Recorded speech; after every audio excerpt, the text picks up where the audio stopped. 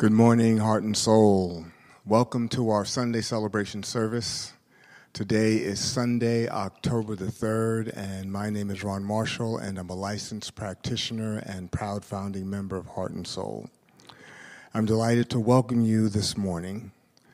I'm here to let you know about the ways that you can be engaged at Heart and Soul and to let you know of any immediate calls to action that we have coming up that you need to know about. Following our opportunities for engagement will lead into our devotional time, and following our devotional time we'll be leading into our inspirational service. We encourage you to visit our, heart, our website, heartsoulcenter.org. This is where you can find out more about becoming engaged in our weekly uh, book study of Emmett Fox around the world. Excuse me, around the year with Emmett Fox. You can also find out where to get prayer and also how to get access to our podcasts. We also want to let you know that you can give by visiting our website. We do have an opportunity to give in community during our service, but you can give at any time by going to heartsoulcenter.org slash give. Join us this Wednesday for Imagining Justice, October this Wednesday, October 26th for Imagining Justice, excuse me.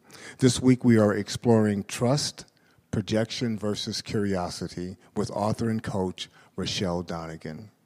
The experience begins at 6:15 with meditation. If you're interested in becoming a member at Heart and Soul, now is the time. Our path to membership is happening on Saturday, October the 23rd from 8:30 a.m. to 3 p.m. Pacific. And you can register by visiting heartsoulcenter.org slash become dash a member. And since this, since this is the first Sunday of the month, we have the opportunity to hear from our prayer and care circle. And after our prayer and care segment, our devotional will be led by practitioner Dr. Felicia Williams Cozy.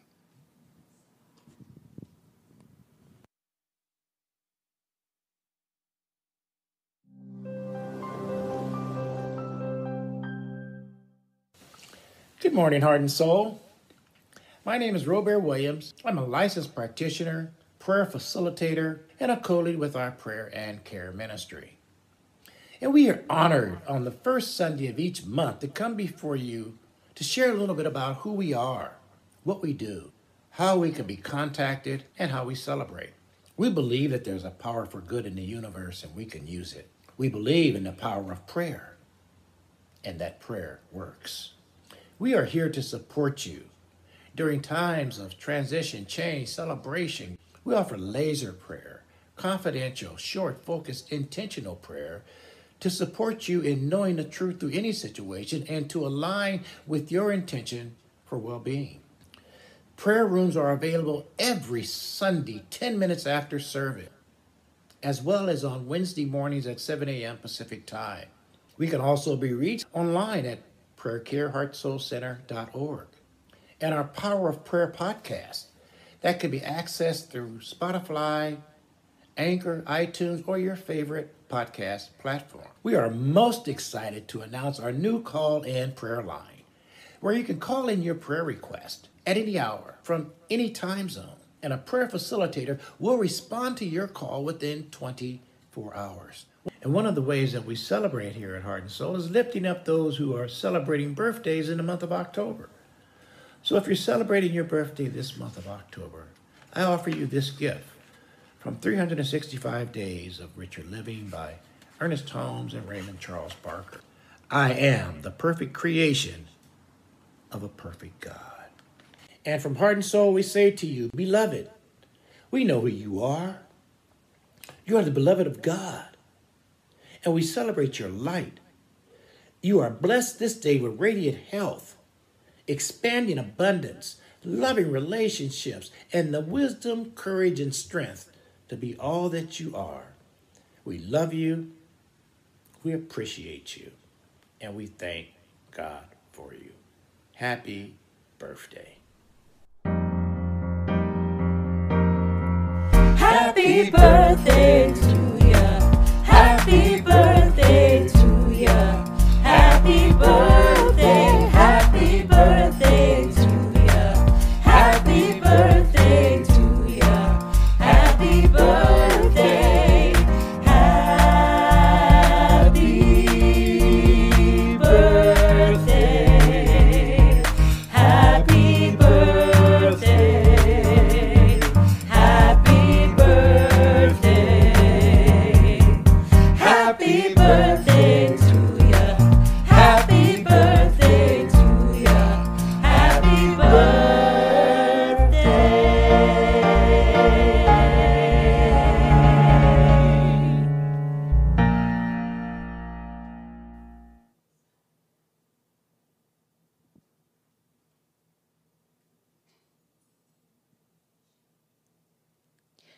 Good morning. My name is Felicia Williams Cozy, and I am a proud member and licensed practitioner here at Heart and Soul. Today, I'm honored to be facilitating our devotional, the devotional segment of our service. Our devotional is our time to invoke our community vision together.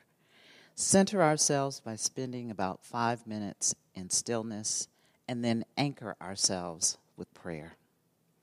Our vision statement is our opportunity to declare our intention in the world. It speaks to who we are and how we operate. So, this is our time to recite and declare our intention together. So, together we say, We are a loving and compassionate, world class teaching and empowerment ministry. Through a consciousness of universal God presence, we release all resistance, separation, and fear. We claim our personal liberation and accept the eternal availability of joy, love, and abundance.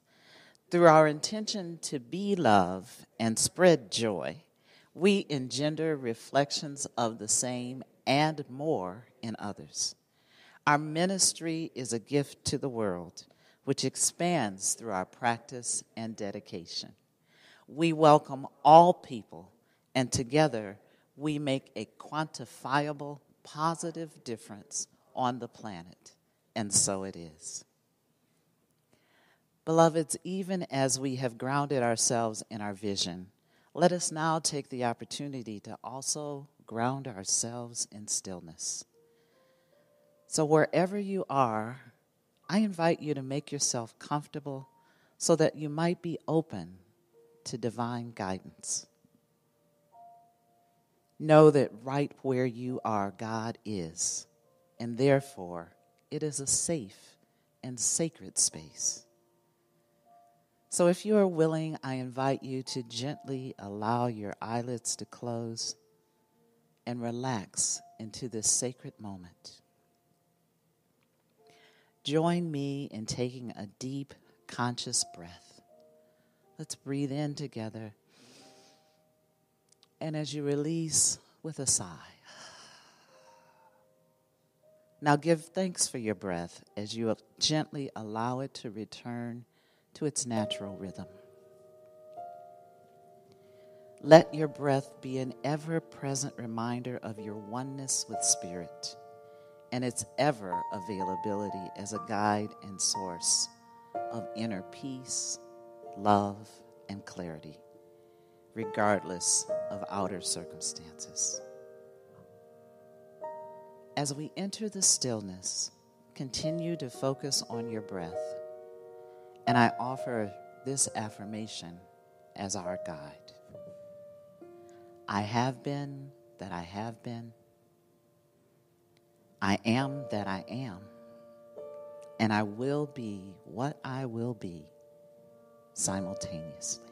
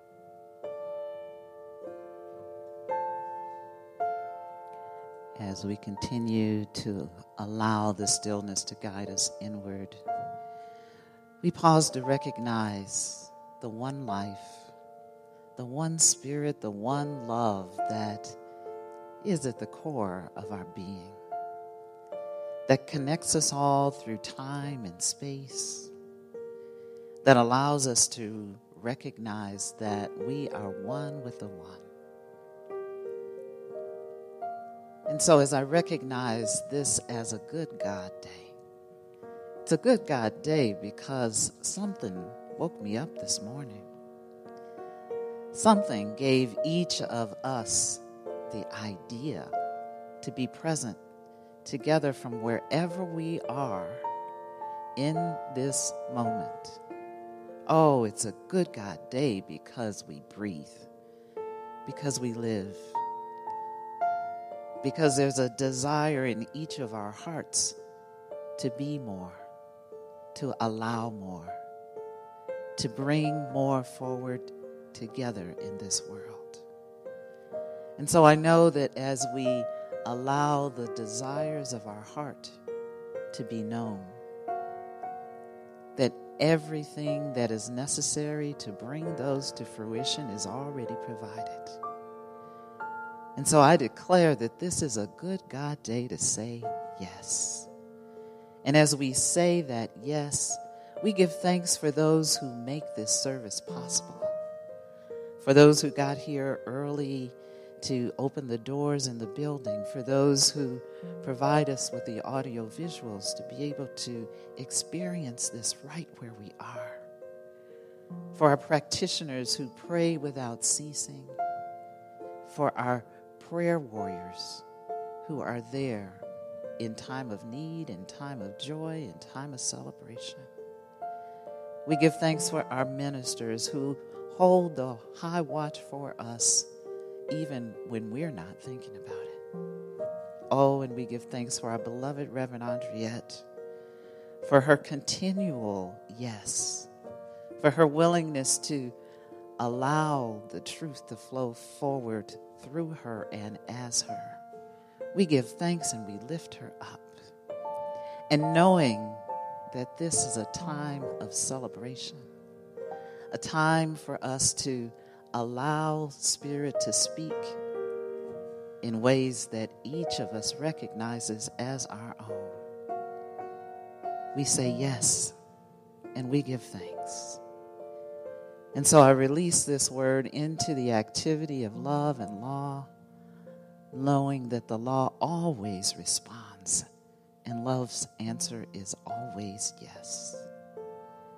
And so together we anchor this word by saying Amen, Ashe, and so it is.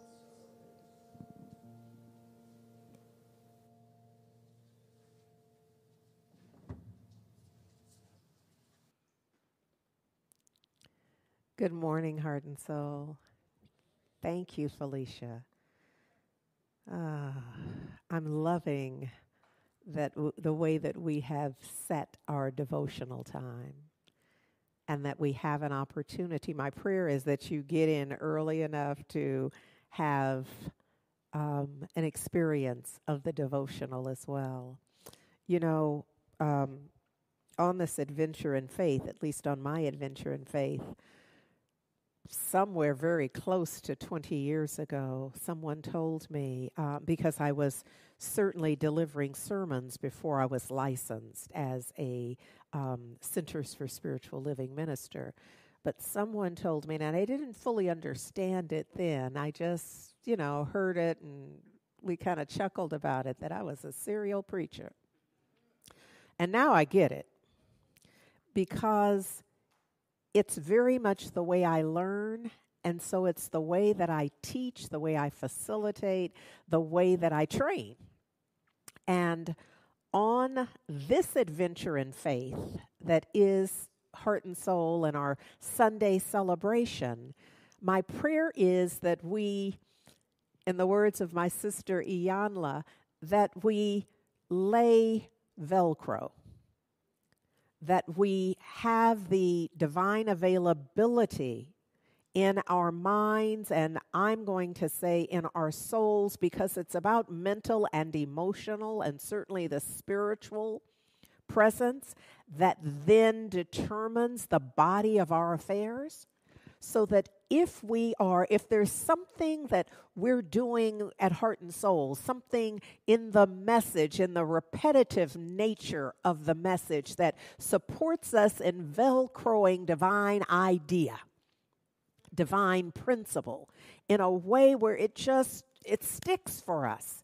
And for those who are just coming in for the first time, that there would be something that gets your attention enough that you could hang out and likewise apply Velcro. So that some of these divine ideas can be hooked. Because you know that's what the Velcro is it's the little hooks that connect in a way. So that these ideas and the way that you're thinking and the way that you're being can be hooked in an aligned way so that we experience the divine transformation that is forever possible for us. So, serial preacher that I am, let's begin with Philippians 2 and 5. Y'all know, have this mind in you, which was also in Christ Jesus. Why? Because it's done unto us as we believe. That is a process of mind activity. It's discerning. We're using our mind activity always to determine, to set the mental equivalent. And once a mental equivalent is set, we are guaranteed that a physical that an effect is, is born out of that. It is done unto us as we believe, it's done unto us as we are thunking. And I'm saying thunking because it's it's beyond thinking. I, I want to impress upon our consciousness, our conscious awareness that it's not just our casual thoughts. You know, in the world, we're often someone says something, you're saying, "Oh, I thought that too." But when, where, more than once, this is our this life changing life transformation idea that i'm presenting forever always is based on our consistent thinking. It's the the weight of our thinking. I'm going to call it thunking because you'll remember that in some way. That will break the mold of it simply being a thought that wafted in and wafted out and you believing that having any erroneous idea that just having had that waif of a thought was transformative in your life. It is not. It must be that the that the weight of the that there be um, a critical mass of your thinking directed in a particular way gets a particular outcome. So it behooves us to have this mind in us. One of the things that we can see in the master teacher, Yeshua, that the, that the world ultimately came to call Jesus is a consistency. There's not a moment where we're, and in fact, for theologians, they're often reading and they know that something that is attributed is not consistent with the word as as they have studied it. You know, across translations, that it's not consistent with the culture. It's not consistent with what is what is held as being known. And, and, and as I'm saying this, you, you, it's a bit problematic because none of the folks that we're reading in terms of theology. None of the theologians were there then. So it's it's all but that doesn't mean we can't discern it. It just means that some of that discernment we must do ourselves.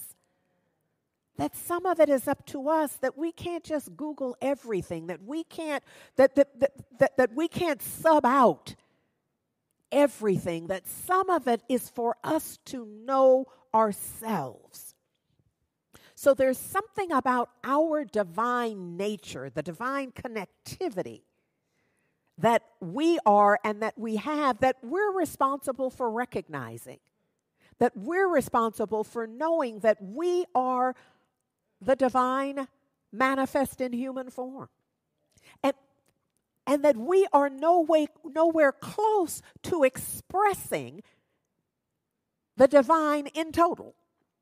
There's just no way that even if we all gathered together on our best day, doing our best work, we are still, there's no way for us to exhaust the divine by any expression. Because it's everything, everywhere, always present.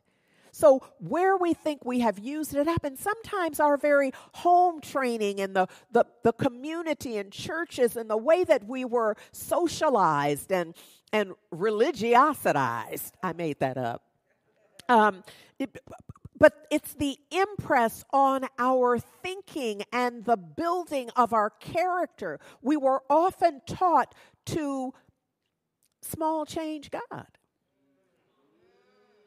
We were taught to see it in its smallest common denominator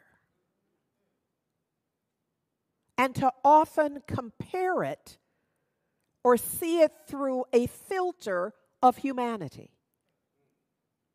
If my father did, then I'm I'm designing the divine out of that male figure in my life or not in my life.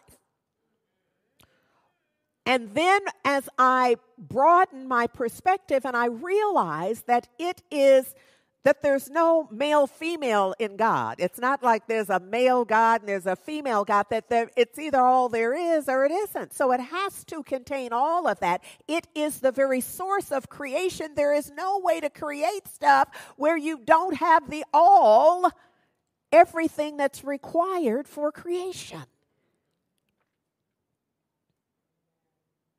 Ernest Holmes says, We wrestle not against outward things but against inward ideas. And what are inward ideas but our thoughts?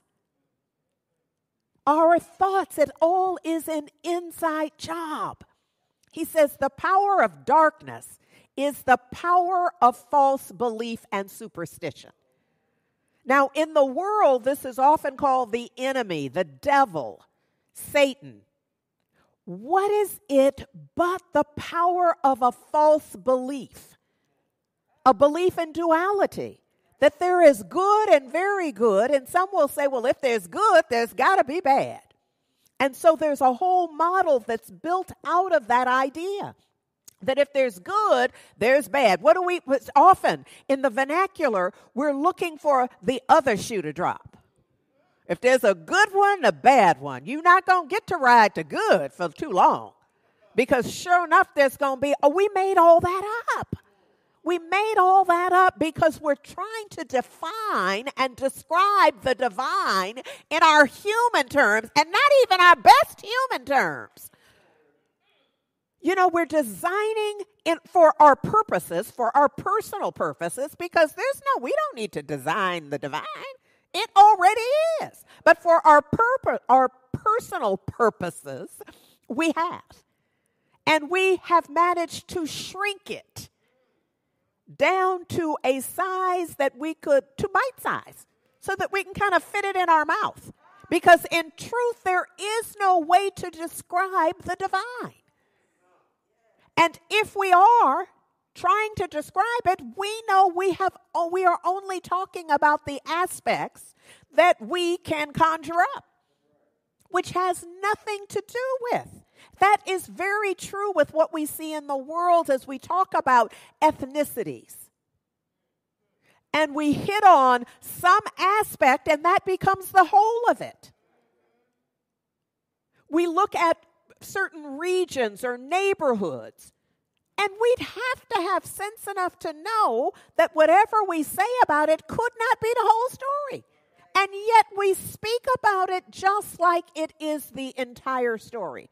That neighborhood is that. Really? Every house, every person? The entire neighborhood? The entire state? And now, oh, I'm trying to stay on the talk. Because you can see all the tangential places. Oh, we have.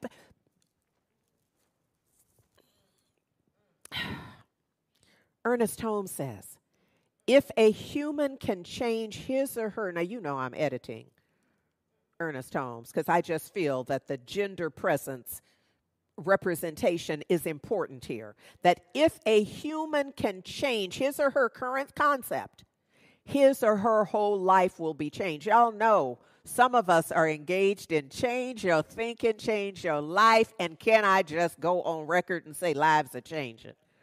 Because why?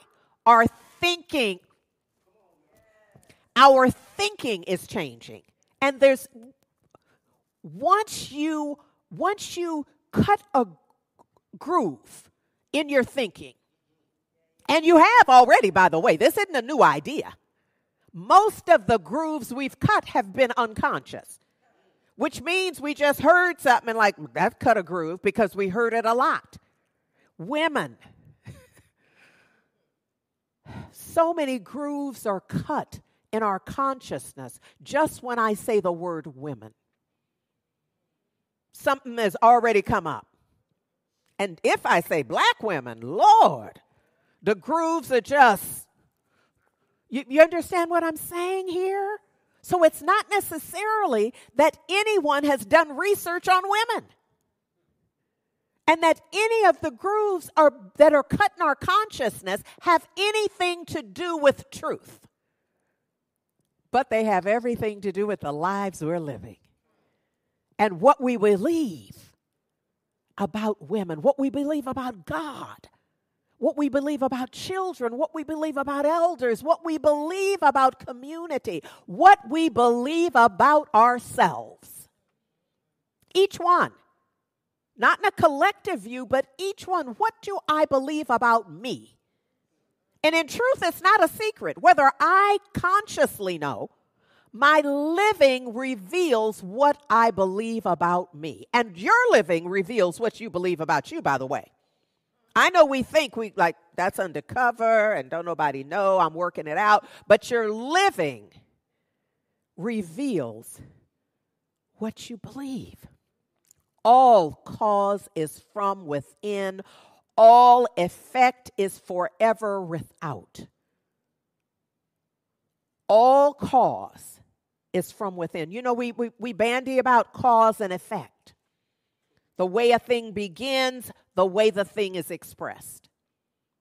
We know that the beginning is always an inside job. And the effect is always just a part of it. And temporary, by the way. Because as you continue to think, unless that's your last thought ever on this plane, but if you have another thought, it's possible that the effect then changes. Do y'all understand what I'm saying here? That every thought is powerful, especially intentional thought, conscious, intentional thought, where you're thinking it with an intention of transforming your experience. Yes? Oh, I'm trying to tell you. Deepak Chopra says that nothing out there, remember, all cause is an inside job. He says nothing out there, no person, not your mama, not your daddy, not big mama and them. Nothing.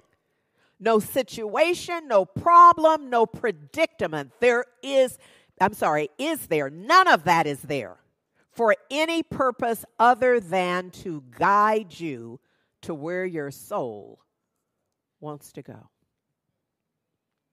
And you need to know your soul wants to go someplace. Or it would, or this would be its last breath. If you draw another breath right now, and my sense is you are, then there's a purpose for you. Your soul's purpose is it must be to do mo- to be and do more than you've been being and doing because there's no not in a greed kind of way do you understand what i'm saying But if we're still here, it means there's more for us to do, more for us to be. If I every Sunday I show up, I know there's more for me to be and do right here, wherever I am.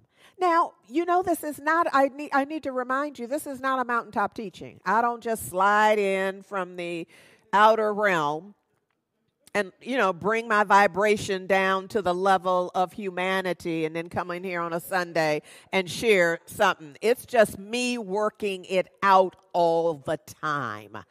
That's what happens. What's different is that i somehow managed to do it on mic.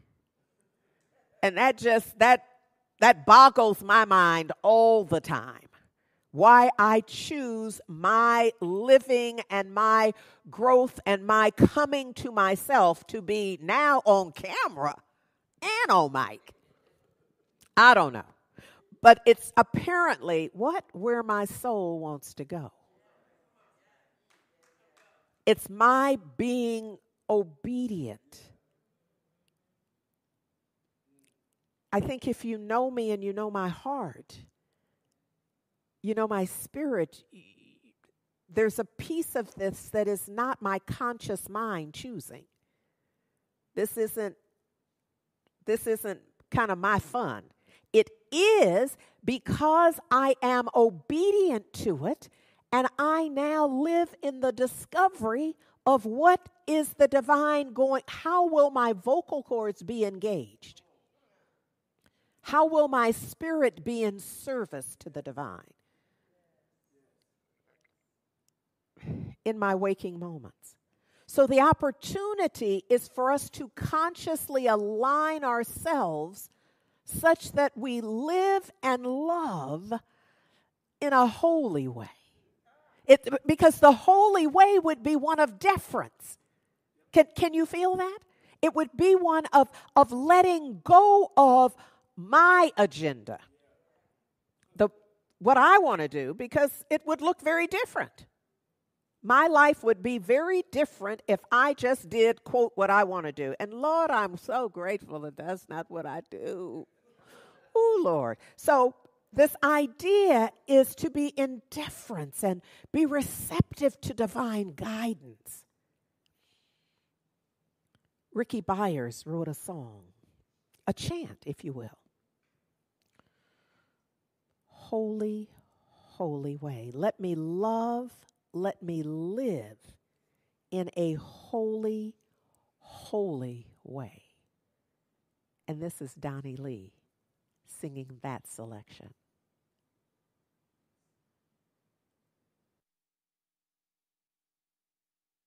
Let me love, let me love in a holy, holy way. Oh!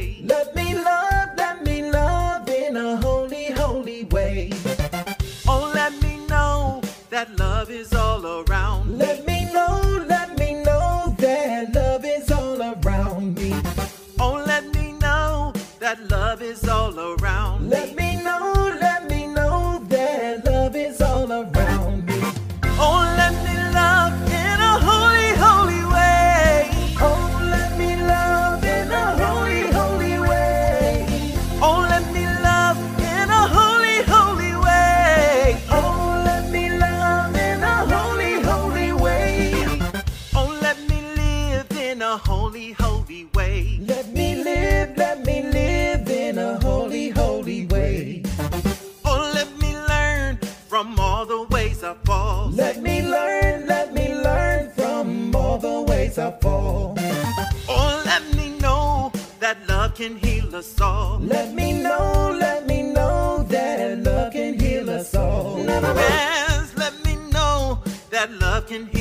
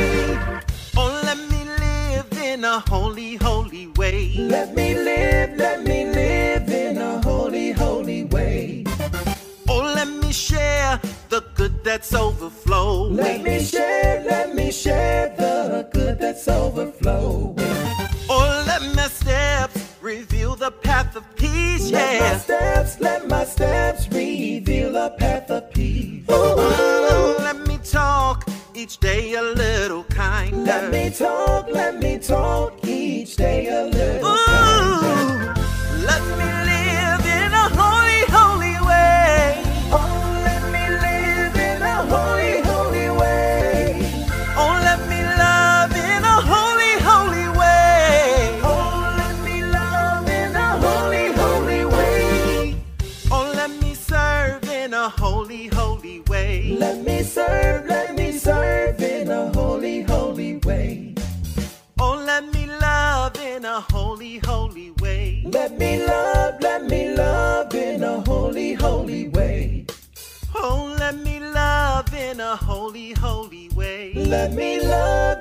love, in a holy, holy way. Yeah.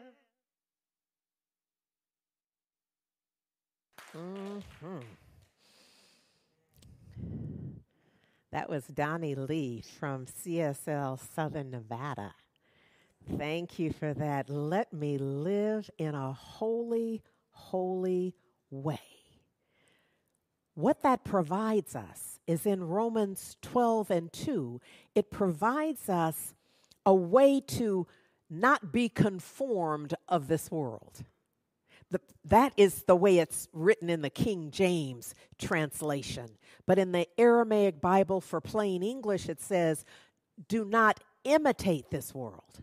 So, between either, I, I mean, I don't care where you land, the idea is to not get attached to the effect, but to be transformed. What?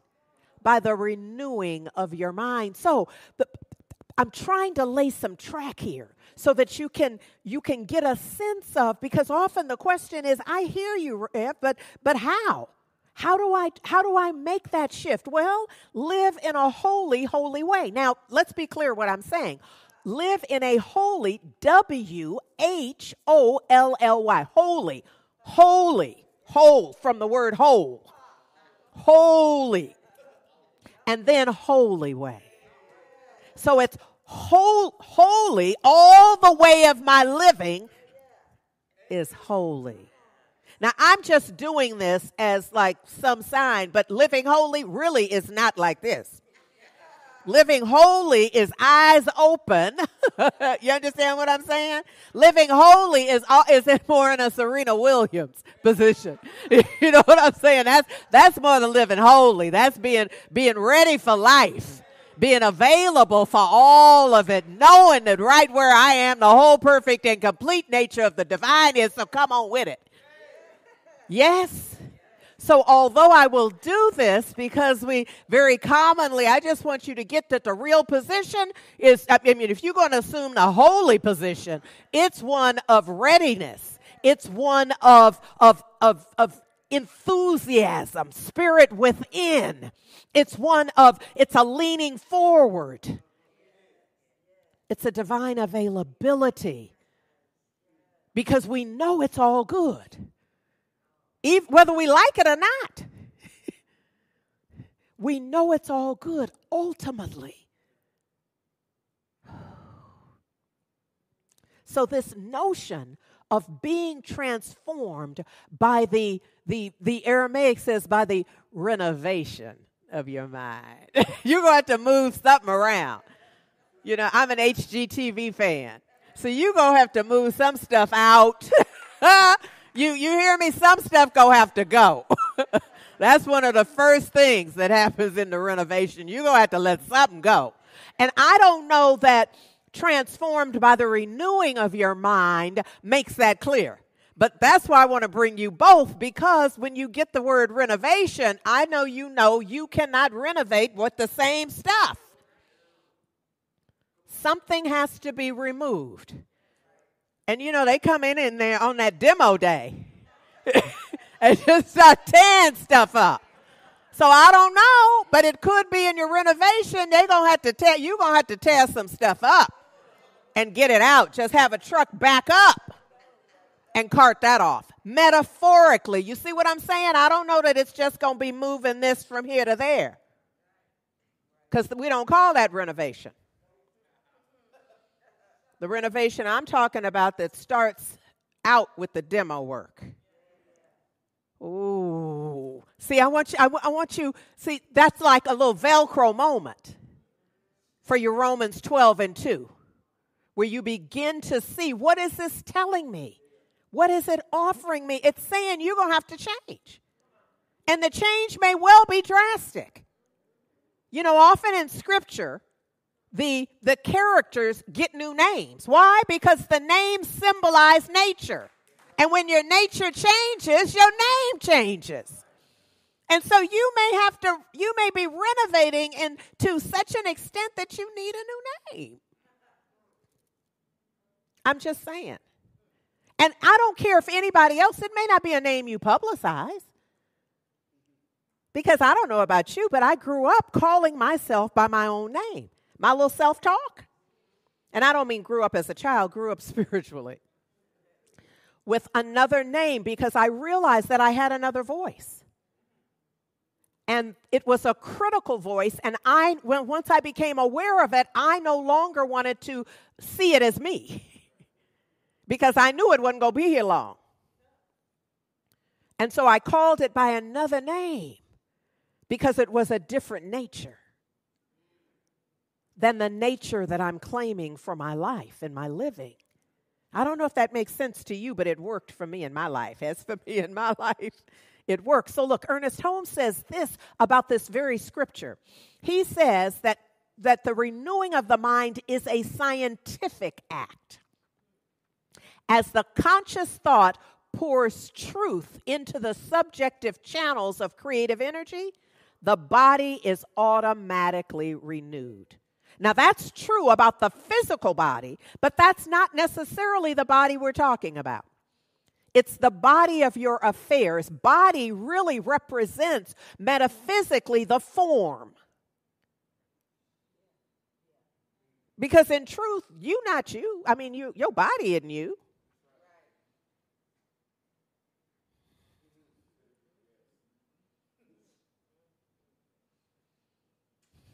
Our bodies are simply the form. The form that, that spirit is expressing. He says mental healing is a conscious act as well as an established fact. In the experience of many people, instead of the old concepts of disease and failure, we are to inject those of liberty, freedom, health, harmony, and success. That's our work. Our work is to is to interject because what? We're renewing the mind. So you're renovating your mind, and what you put, the newness you bring in after that demolition work, now you got space for it. Because what we just took out a wall that was just in the way of the flow. You see, I've been really watching now. So that wall was in the way of the flow. but now we're using it metaphysically. And there's some walls that we have in mind that are in the way of the flow. And some of that flow is health and well being. We have some ideas about health and well being that have to do with age, that have to do with gender, that have to do with, with uh, social status. So there's some walls we have that we need to that we could benefit from demolishing. What? So we can increase the flow. Some of the walls have to do with our financial prosperity our prosperity quotient. There's some letting go. There's some demolition that is beneficial. So what? We can renovate we can put in the ideas that are going to be productive and in alignment with the outcomes that we want we know that everything produces something because what this is a creative universe. But the question is see, sometimes we miss it because we don't think we created that. We just, that's the stuff we don't know how that got there, remember? You know, when it's the good stuff, the parking place we wanted, oh, I was all about that. Look at the, look at what I created. When it's something else, we don't know how that got here. I don't, I don't know what happened because I'm creative, but only on the good tip. I only create the stuff I want. The other stuff in my life, I don't know how that got here. And when I say it, you get how foolish that is. You, you get that that's you. You just, you thinking to yourself, I'm going to cut that out. That that's not going to be the way I'm going to show up in the world. Believing in the foolishness there really is divine order and it doesn't cut on and off based on what you like. It just is. Ernest Holmes goes on to say mental healing is subject to the exact laws, the exact laws of mind and spirit, and is accomplished by correct knowing, not the foolishness by correct knowing. This knowing is a mental attitude toward truth. It is the truth which makes free, and it is the mind which knows the truth. See, sometimes we don't link that up. We have to string these pearls really carefully here. It is the truth that makes free, but it is the mind that must know that truth, or there is, or that free we just talked about isn't is not experienced until the mind knows that truth. You know, sometimes we, and I understand it, we've been told these things, but nobody took the time to just support us in breaking it down in a way that we could embrace it and velcro it in our consciousness. And so we have what we it's almost become just platitudes, just stuff we say. The truth will make you free. Talk to me about that. When, how, under what circumstances? Oh, there's got to be some engagement. The renovation of mind around what is true. Ooh, the body is healed, Ernest Holmes says, as the inner mind is transformed. Look at the order of that. The body is healed as the inner mind is transformed. Not after you just say some affirmations a few times, not after you get some prayer a few times. The body is healed as the inner mind is transformed. Now, for some people, that could be one prayer. That could be an affirmation on the mirror that they that but what it's not where it is, and if it's on a three by five card or typed on a sheet of paper, that's irrelevant. It's it has it transformed your mind? Has it transformed your thinking, the way you see your situation, your body temple, and your relationship with the divine as it is expressing as your body temple? Come on now. The order is that the body is healed as the mind is transformed, as that shift takes place in mind, it takes place in body, not before. As the old and false images of thoughts are renewed, are renovated by the images of truth and life. What are we holding? What pictures are we holding? Ooh. Yup. Mm. I don't know about y'all, but I've had just enough birthdays to be vulnerable to the discourse on aging. I have to tell you, I thought I was immune. Immune. That had nothing to do with me. I know better. That has nothing to do. It had just enough birthdays though, so I'm like, huh? I'm tuning into a frequency that never interested me before. And so this is essential for me. I'm telling you, this is not a mountaintop teaching. I'm aware that in that renovation, I don't want to end up with no ageism hanging in the new drapery design or in the new little alcove for aging. Uh uh But I must be aware. I have to stay conscious and aware because what? It's everywhere. You know, I'm a boomer and there more of us as a group. And so the advertising that I never paid no attention to, it's now targeting me.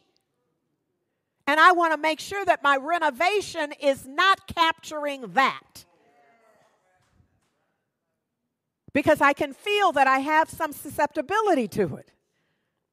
But that's my, you know, I can't go out there and say, take that off TV and take that off the billboard. See, now they have people who look like me. And it makes it more, before, you understand what I'm saying? Before they didn't look like me, I wasn't paying them no attention. But now it's my peer group. It's designed for me. But I have to know something in order for it not to become me. The process through which this renewing takes place is a conscious one and may be practiced by anyone who understands the principle in, involved. That's what I was just describing to you. Ernest Holmes is describing what I'm working through in my life. Father, Mother, God, Lord. I never thought I'd be sharing Stephen Colbert with y'all from, from the late show. I just didn't know there'd be a Sunday. I didn't know there was a Sunday where Stephen Colbert would be making an appearance at Heart and Soul. Well, today's the day. Because he said this, and this I, I want to challenge us. Why? Because we're renovating. We're renovating, and I want us to challenge ourselves. He said, if this is going to be a Christian nation that doesn't help the poor, either we have to pretend that the master teacher was just as we are, or we've got to acknowledge that he commanded us to love the poor and serve the needy without condition. And then admit that we simply don't want to do that. And I'm like, well, you better ask somebody, Stephen Colbert. Because that right there is truth spoken. And what did we just say? The truth will set you free if your mind recognizes the truth. And so we've set up a pretense that we just gonna be Christian without being Christian. You know, so I'm gonna be it, like at the TV show called Christian but I'm not to be it. I'm not to have the heart. I'm not going to have the Christ heart because that's the root of that. Not as religiosity, but as a spiritual way of being, is what I'm talking about. The Christ consciousness. And that, you know where I'm going. I'm going right back to Luke 6, where the master teacher specifically said, Why are you calling me Lord and all that, bowing down and carrying on, wanting to be where I am, if you're not going to do whatever I say? And if I say, take care of the children and the elders, the poor are always going to be with you. And so you're going to have to you're going to have to help. And if you're not willing to do that, then why are you acting like you are aligned with the teaching? Why are you acting like you with me? And it becomes important. I know y'all know this by now, but there's a thing. I, this is a, well, it became funny to me.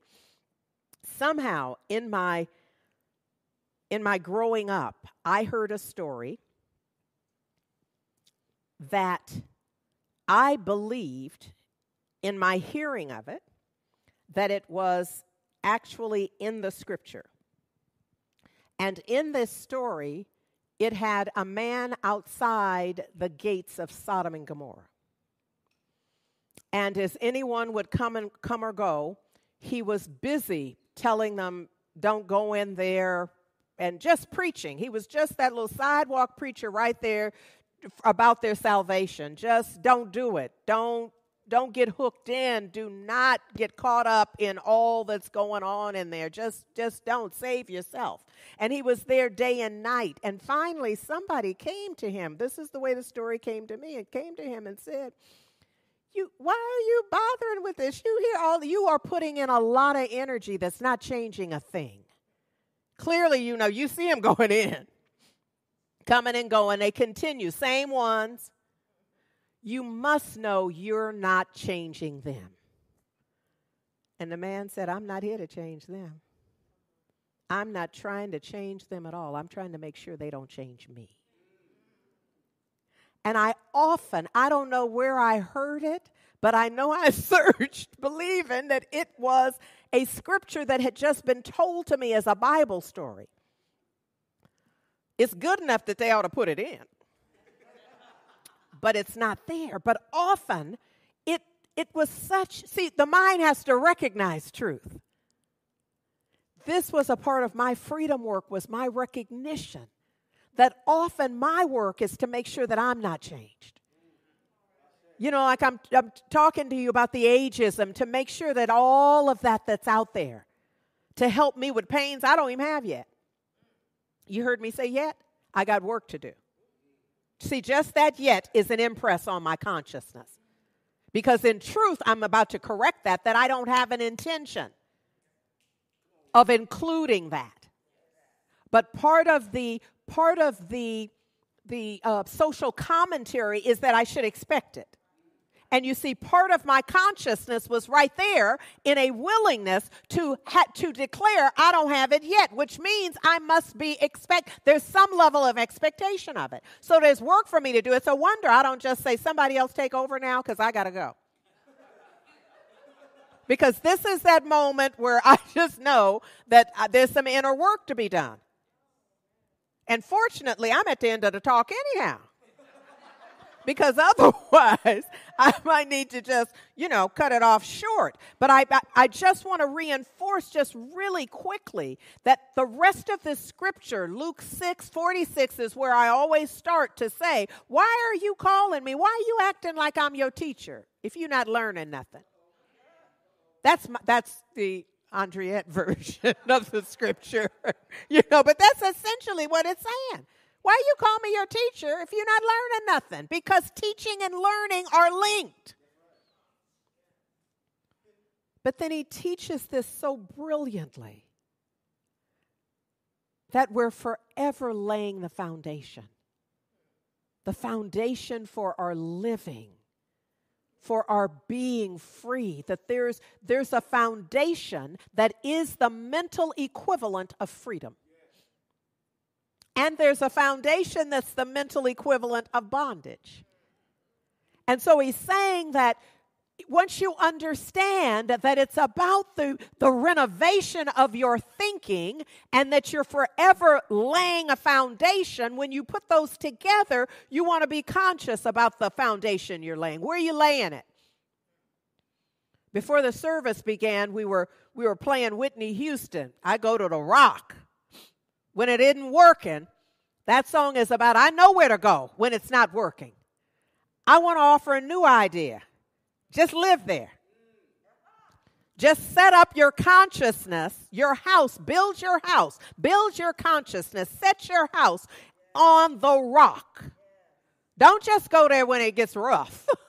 Don't just run when stuff is down and not working the way you need it to work or when you're terrified. Often, I know that's when you call your practitioner and won't speak to the minister and all that. I'm talking about in the meantime. How about you be on the rock? How about we begin to work it out as a continuous process? How about if we're just willing to, to let go? How about if we're willing to let the Spirit run our lives, if you will. How about if we're willing to release the stuff that is holding up the renovation? How about if we were simply willing to release and let go and allow our heart to open wide to know that each and every one of us, let me just declare for me that I'm only here for God. Donnie Lee singing Rickie Byars, I Release.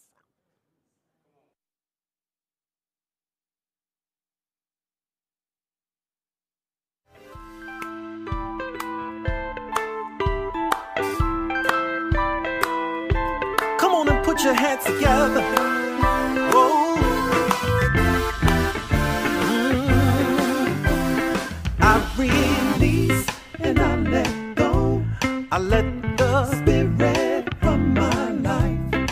When my heart is open.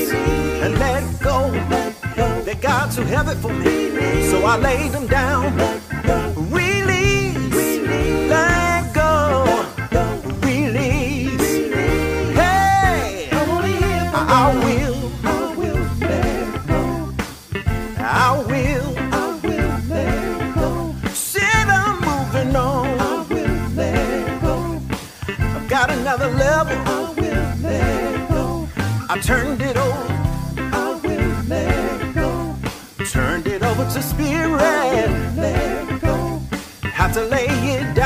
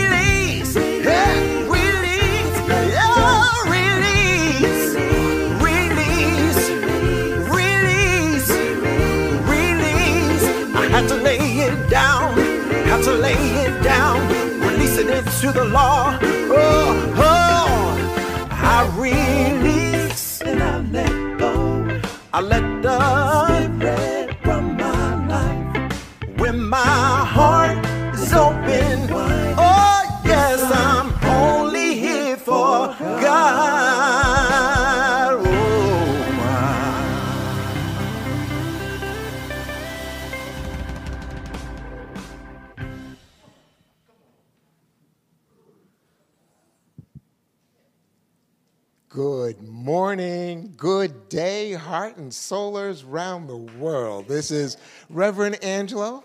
Yeah, this is the body that goes with the voice. And, you know, every week I try to break me off a little something from the talk that I can carry with me that will sustain me all week long. And this week I got it for sure. Let me live in a holy, holy way. Let me live in a place that is beyond appearances, beyond the effect, knowing that I am being transformed by the renewing of my mind. This is deep, deep spiritual truth. And it's not just true for me. It's true for all of us. And it is certainly true where gracious giving is concerned, which is really what I'm up here to talk about. And here's what I want us to know. This is our opportunity to go even deeper and to really let our giving be evidence that we're willing to be renewed around prosperity and abundance, not just for Heart and Soul Center of Light, but for ourselves, because how we do anything is how everything gets touched. We have lots of ways in which you can graciously give to Heart and Soul Center of Light. You can send a check to our secure mailing address at 5627 Telegraph Avenue, number 405, Oakland, California, 94609.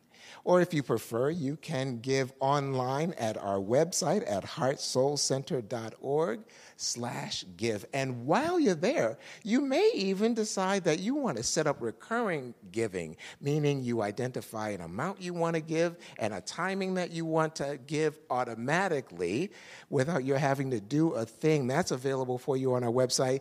And last but not least, you can actually just text the word give in your smartphone at 510 500 5849 and a delightful app will take you through that experience. My favorite way of giving you may like it too but whatever way you choose to give is right and perfect. It's also important that we maintain the right and perfect consciousness for our giving. At Heart and Soul, we have a tradition of blessing our good before it is given, thereby establishing an intention for the good that our gift will do in the world. Wherever you may be in the world, I invite you to take your gift in hand and maybe just place it over your heart, or otherwise, just place your hand over your heart and let us say our blessing together. I bless this gift as healing energy and send it into the divine flow of all good. Infinite prosperity circulates through me, through my church, and throughout the world because I know God as source. And so it is.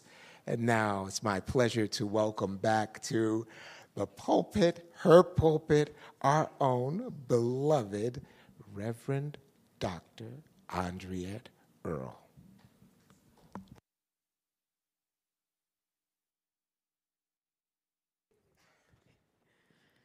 Thank you, Revelo.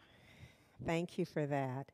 Uh, just also, huge thank you for Donnie Lee out of uh, CSL Southern Nevada for being our musical inspiration today, and just a huge thanks for our virtual team for the folks um, part of the love streaming, the sound, just all everything. I can't even begin to name a number, all of the different roles. I simply am grateful because it's when it all comes together, including our welcome circle, um, which is present on site and doing whatever needs to be done so that we are ready to receive folks when we open. Uh, our hospitality circle, Bottom line I see you, I love you, and I thank God for you. Thank you very, very much.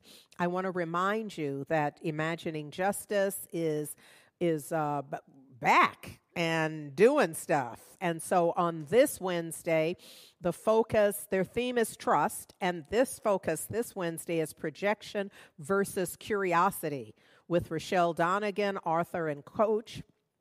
And um, I wanted, and then you can see on the screen yourself that for the next two weeks, what is missing is the final Wednesday of this month of October, where there will not be an Imagining Justice. So there's just for the first, second, and third Wednesdays um, that they'll be, and then they'll be back in November. Um, also, Path to Membership if you are interested, come be a part of this session. It's from 8:30 to 3 p.m. There will be a lunch break.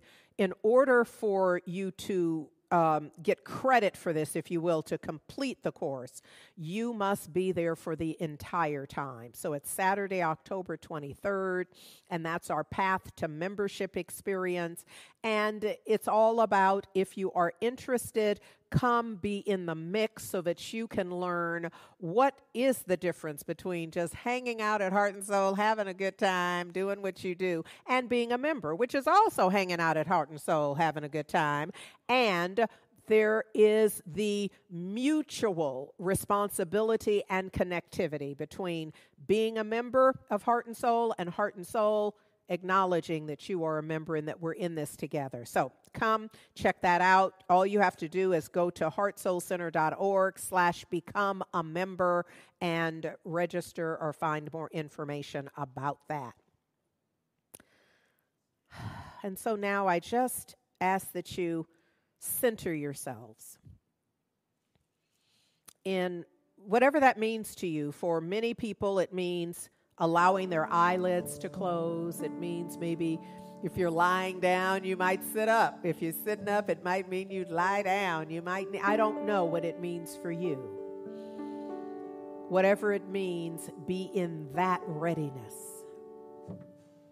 in that state of receptivity and divine availability. And just begin by being aware of your breathing.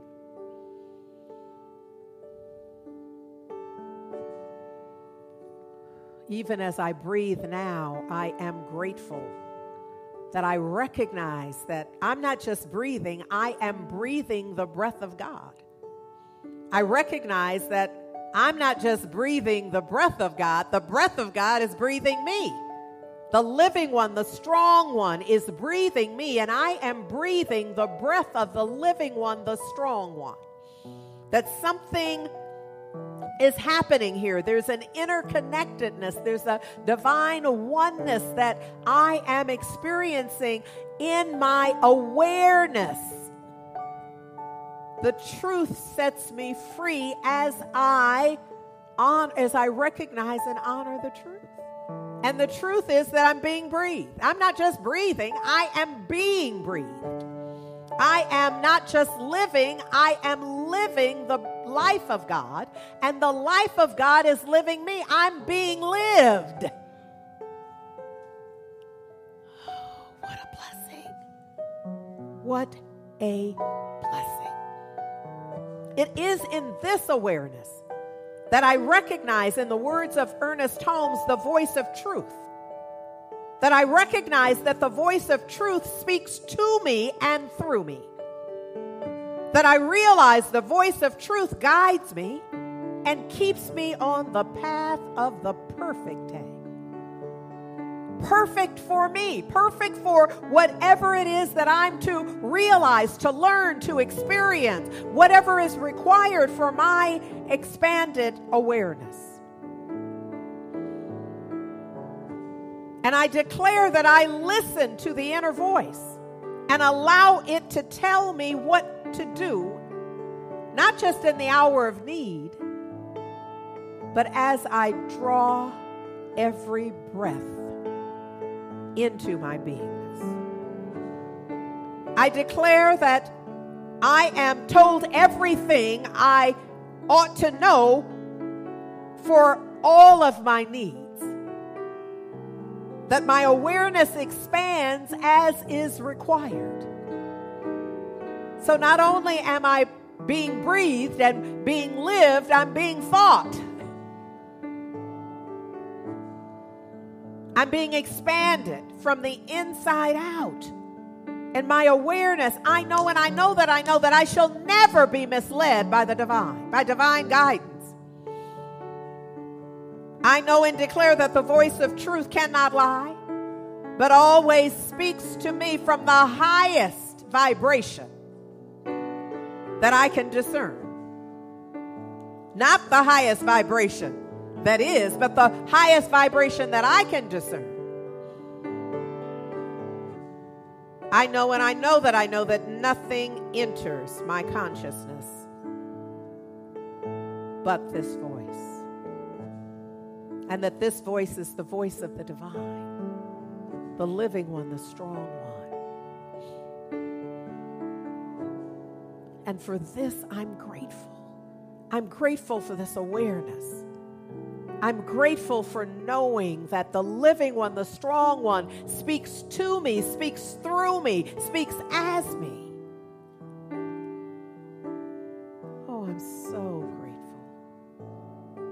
Grateful. For heart and soul. Grateful for this opportunity to share this morning. Grateful for the divine transformation, the renovation of my mind Grateful for divine life unflowing. Grateful for the power in releasing and letting Grateful for the certainty